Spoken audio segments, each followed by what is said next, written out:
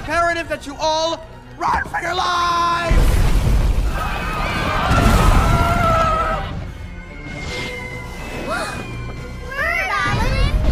My mommy and daddy.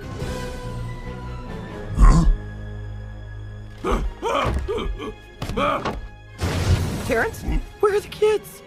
Where are the kids? I don't understand. I thought Red was supposed to save us!